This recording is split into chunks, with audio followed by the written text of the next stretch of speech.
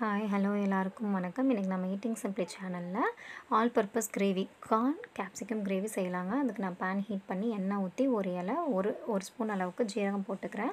இது பொரிஞ்சிட்டதுக்கப்புறம் ஒரு வெங்காயம் நல்லா வதக்கிக்கிறேங்க. ஒரு ஒரு பாதி தக்காளியை கட் பண்ணியும் மீதியை அரைச்சும் ஊற்றிக்கிறேன் ஏன் அப்படி பண்ணியிருக்கேன் அப்படின்னா இப்போ வர தக்காளிலாம் ஜூஸி ஆகிறது இல்லையா? எவ்வளோ வேக வச்சாலும். ஸோ எனக்கு திக் கன்சிஸ்டன்சி வேணுன்றதுனால நான் பாதியை அரைச்சி ஊற்றிக்கிறேன் இது ஒரு அஞ்சு நிமிஷம் நல்லா வேகட்டும். இது வெந்துட்டதுக்கப்புறம் நான் ரெண்டு கேப்சிகம் ஒரு கப் அளவுக்கு கார்ன் வேக வச்சு நல்லா வதக்கிக்கிறேங்க. இது நல்லா வதங்கினதுக்கப்புறம் ஒரு ஸ்பூன் அளவுக்கு குழம்பு மிளகாத்தூள் ஒரு ஸ்பூன் அளவுக்கு வெறும் மிளகாத்தூள் கொஞ்சமாக மஞ்சத்தூள் ஒரு ஸ்பூன் அளவுக்கு தனியாத்தூள்.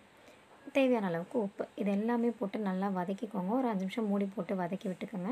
அதுக்கப்புறமா உங்களுக்கு எந்த கன்சிஸ்டன்சிக்கு தண்ணி வேணுமோ குழம்பு மாதிரி வேணாலும் ஓகே இல்லை கிரேவி மாதிரி வேணாலும் ஓகே அதுக்கேற்ற மாதிரி தண்ணி ஊற்றி ஒரு கொதி விட்டுருங்க.